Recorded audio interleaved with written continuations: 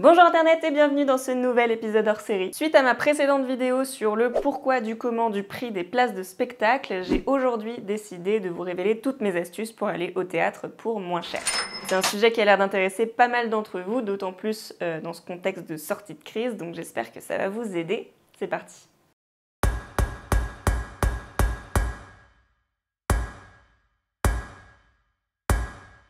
Pour accéder à des tarifs avantageux sur les places de spectacle, c'est un peu comme partout, il faut, euh, il faut fouiller, ça demande de la recherche, donc du temps et de l'énergie. Le but de cette vidéo, c'est de vous montrer directement là où est-ce qu'il faut chercher pour vous faire gagner du temps. Il faut savoir qu'il existe déjà beaucoup d'initiatives mises en place pour faciliter l'accès au théâtre pour certaines catégories de la population, notamment les jeunes, les seniors et les demandeurs d'emploi. Mais ces initiatives mettent de fait de côté les jeunes actifs de plus de 26-28 ans qui ont une situation financière qui ne leur permettent pas forcément de faire ce genre de sortie. Mais donc pour y remédier, je vous promets que dans cette vidéo, une partie des astuces est bien dédiée à tout le monde sans limite d'âge ou de situation.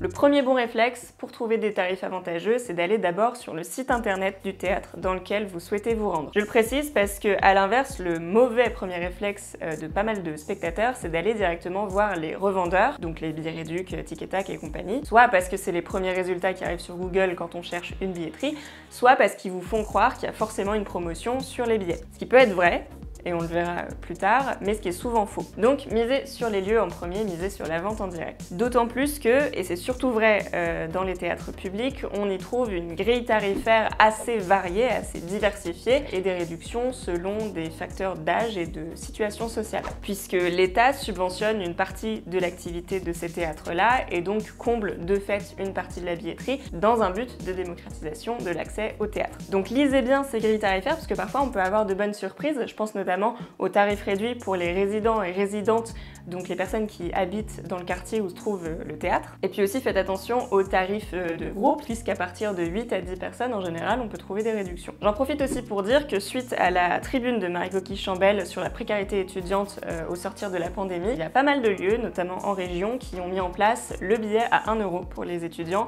voire même la gratuité. Et pour finir dans ces grilles tarifaires, aujourd'hui c'est pratiquement automatique que les théâtres proposent un système d'abonnement, soit pour le théâtre en particulier, soit même pour un ensemble de théâtres associés, donc n'hésitez pas à fouiller de ce côté-là. Bref, au-delà de ces grilles tarifaires, chaque lieu va y aller de sa petite initiative, de sa petite opération promo. Je vais vous en citer quelques-unes, euh, plutôt en région parisienne, puisque c'est les théâtres que je fréquente. Si vous avez moins de 26 ou 28 ans et que vous pouvez venir au guichet du théâtre une heure à une demi-heure avant le lever de rideau, c'est là que vous aurez le plus de chances de choper les tarifs les plus réduits. Exemple avec la Comédie Française qui met à disposition des places gratuites pour les moins de 28 ans tous les lundis et sinon à 5 euros pour tout le monde le reste de la semaine. C'est valable uniquement pour la salle Richelieu et donc il faut aller au guichet qui s'appelle le Petit Bureau euh, rue de Richelieu. Exemple aussi avec l'Opéra Bastille et le Palais Garnier qui font des grosses promos une demi-heure avant le spectacle au guichet. Et dernier exemple avec les théâtres privés parisiens qui ont euh, chacun un quota de place à 10 euros pour les moins de 26 ans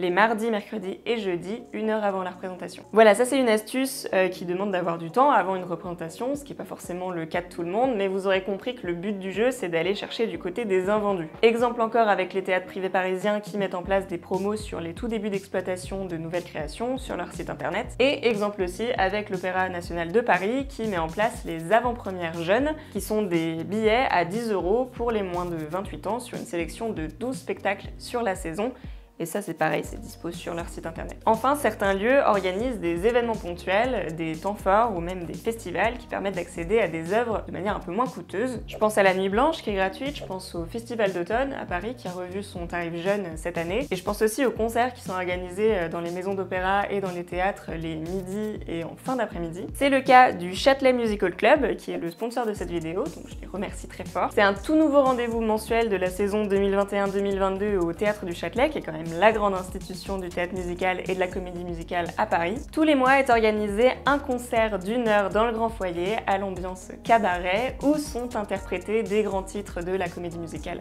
américaine, de comédie musicale francophone contemporaine et d'opérette par des artistes professionnels et des étudiants. C'est un rendez-vous complètement unique en son genre et à petit prix en plus puisque le plein tarif est à 15 euros et le tarif réduit pour les moins de 28 ans et les détenteurs du pass Châtelet est à 10 euros. Si vous voulez plus de renseignements, je vous mets un petit lien dans la barre d'infos et puis sachez que c'est pas la dernière fois que vous entendez parler de, de cet événement euh, sur la chaîne puisque je vous prépare des petites surprises avec eux. Et ceci clôture notre premier chapitre sur les initiatives des lieux. On va passer maintenant aux revendeurs.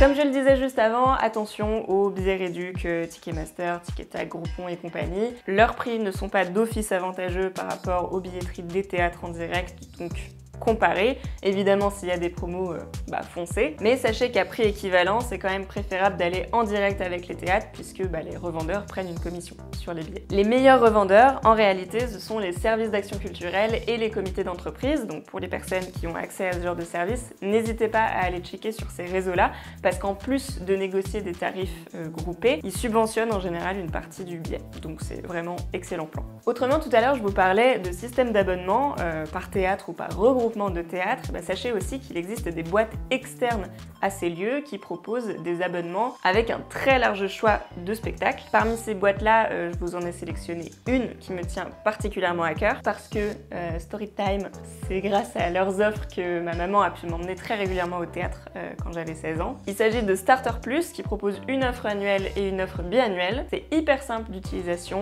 ils ont un énorme panel de spectacles et c'est très facile de choper des tarifs hyper avantageux, voire même assez régulièrement des invitations. En plus, ils ont derrière eux une communauté assez forte qui s'organise des sorties théâtre entre eux, donc si vous avez envie de rencontrer des gens en allant au théâtre, c'est super. Et dernière option, les kiosques. Si vous êtes déjà allé à Londres ou à New York pour aller voir des spectacles, je pense que vous êtes passé par ces kiosques-là, notamment le TKTS. Et eh bah ben, il y a exactement la même chose à Paris, à Madeleine, à Montparnasse et à Terne. Et le principe, bah, c'est d'y aller la veille ou, pour le jour même, euh, et puis de choper des tarifs de dernière minute.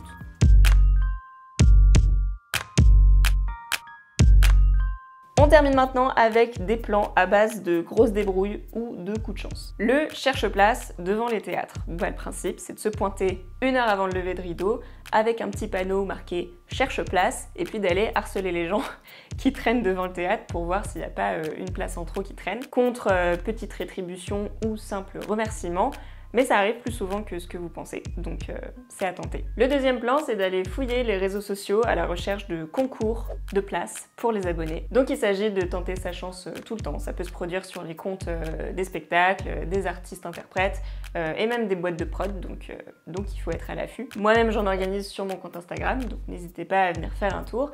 Et puis, si jamais vous décidez de me soutenir financièrement sur ma page Utip à partir d'un euro, je vous enverrai ma newsletter dans laquelle j'essaye de vous négocier euh, des invitations ou à minima des codes promo. Et ma dernière astuce, qui est un petit peu controversée, c'est à la place de payer votre billet, c'est d'aller faire un petit peu de bénévolat euh, pour des festivals, des artistes, des compagnies ou des boîtes de prod qui en auraient besoin. Ça n'existe plus trop à Paris, mais euh, par exemple au Festival Off d'Avignon, vous pouvez être sûr qu'il y a plein de compagnies qui cherchent des gens pour flyer. Donc si vous êtes motivé, pourquoi pas? Et voilà, vous avez maintenant plein d'astuces pour aller au théâtre pour un petit peu moins cher. Cependant, n'oubliez pas que le prix des billets correspond toujours au coût de production du spectacle, au coût d'exploitation pour les lieux.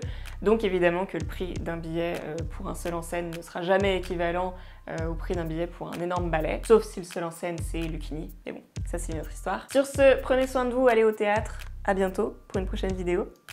Ciao